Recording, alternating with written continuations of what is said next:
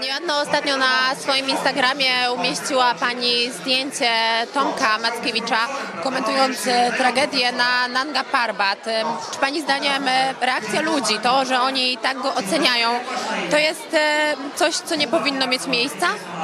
Myślę, że e, wielu ludziom oceny przychodzą zbyt łatwo.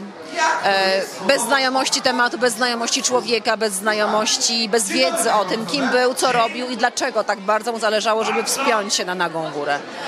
Um, wiele było komentarzy, że egoista, że jak się ma dzieci, to nie powinno się podejmować tak ryzykownych zachowań, że, e, e, że e, e, i Adam Bielecki, cała ekipa, która tam po nich poszła, że oni za, za, wcześnie e, zrezygnowali, że uratowali tylko Elizabeth Rewol. I pani, nikt to y, y, nie był w górach tak wysoko, nie ma prawa wy- wypowiadać się moim zdaniem na ten temat. Y, można powiedzieć, no to ty też, tylko że ja nie oceniałam. Ja chcę oddać ogromny mój szacunek i wobec, i wobec Tomka Mackiewicza, który to niezwykły człowiek. On wygrał najpierw z nałogiem, który go pochłaniał i, i, e, i ciągnął w niesamowitą, i ciągnął w dół. Najpierw wygrał z nałogiem, potem wygrał właściwie z samym sobą i z całym światem, bo wszedł na Nanga Parbat. On tam był. Ja jestem przekonana, że Elizabeth mówi prawdę.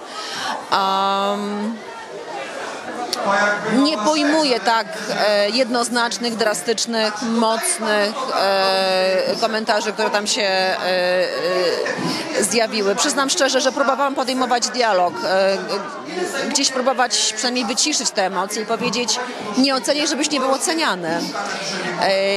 Niestety ludzie czują się gdzieś bezkarnie schowani za, za własnymi nikami, myśląc, że, że można im e, mieszać z błotem kogoś, e, do kogo pewnie nigdy nawet nie, do poziomu, którego nigdy nie dotkną. Czy Pani miała na przykład e, takie odczucia albo czekała na informację, że jednak udało się uratować Tomka? Nadzieja zawsze umiera ostatnia i, e, i gdzieś pewnie w najbliższych e, e, Tomkowi, wielu tych, którzy go podziwiali, będzie, będzie się tliła ta nadzieja do końca, że on gdzieś tam wysoko, na tych 7000 metrów, opatulony przez Elizabeth, czeka na pomoc. Bardzo chciałabym wierzyć, że, e, że go jeszcze kiedyś zobaczymy żywego. Jego przyjaciele, o których dzisiaj słuchałam, mówią, że miał takie nieznośne poczucie humoru, że pojawiał się jak Deus Ex Machina w różnych najmniej spodziewanych okolicznościach i mówił hello, wszystko ze mną dobrze, mam się znakomicie.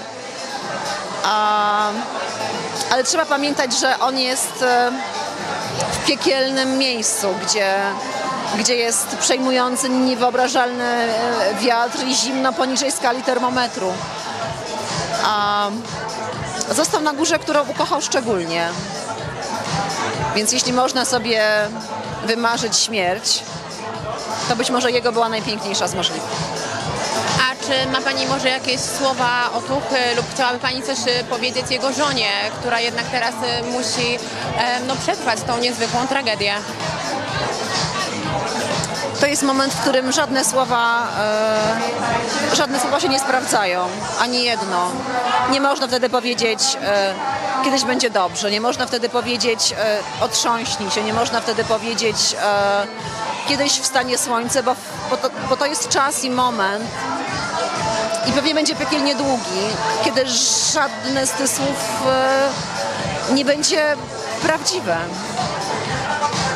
Myślę, że jedyne co można zrobić, to bardzo mocno z całego serca przytulić i powiedzieć, że jesteśmy. Pomóc, e, pomóc czasem, pomóc wsparciem, pomóc e, nawet tak po prostu pieniędzmi. A Są takie zbiórki, byleby tylko nie były fałszywe, bo to co pojawiało się ostatnio też w internecie, te wszystkie ohydne, obrzydliwe naciągactwa, nie ma na to kary, nie ma na to trybunału, naprawdę. Jak w takiej sytuacji można a, próbować wykorzystywać ludzką tragedię do zaopatrzenia własnej kabzy, naprawdę najokrutniejsze słowa mi się cisną na usta.